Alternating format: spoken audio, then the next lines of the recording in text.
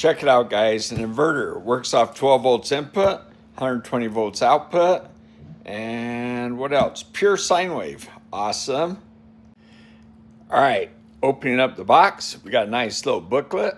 Okay, we've got something else. Looks like a display. That is super cool. And a big unit down here. And whoa, what is this? Man, that's heavy. That feels like copper. I don't think that's aluminum. Feels like copper. Whoa, hold on a sec. Yeah, that those are heavy gauge. Uh, what else we got down here? Oh, ground wire. Awesome. Let's pull this unit out. All right, pull the unit out of the box, but look what's down inside. That looks like an antenna. Okie dokie. We got a couple spare fuses. Are you kidding me? They gave me a wrench. All right, packaging, nice plastic bag, keep it dry. Nice uh, heavy duty polypropylene, I think, uh, blocks there. And we got a nice display here as well as this one. I can't wait to hook this up. On this end, three receptacles. And what is that? It shows a little ground stud, this little thing right here.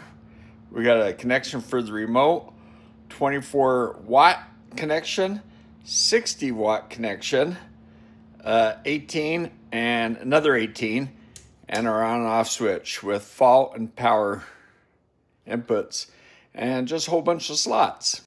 All right, this looks like the business end. We got a couple fans. I think these are smart fans that turn on with temperature, I hope, but I think they are. And look at that, pop that guy off. So there we go, that's where that wrench is for.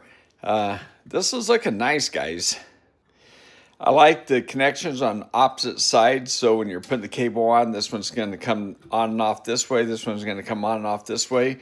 Uh, so you're isolated on the back sides.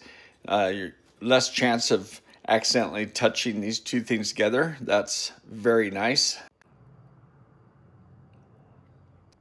Now check it out. Peak power is 4,000 watts, 2,000 watts. So it's double the power. That's nice. All right, this manual looks like it has everything you need in it. There's some nice color pictures. And look at that. Some pictures of what it looks like inside. Two big heat sinks with several transformers down the middle or inductors. Let me know if you guys want me to open this up. Leave comments down below. This is looking very nice. And guys, I think this is like only 180 or 179.99, right? But yeah, check the link down below.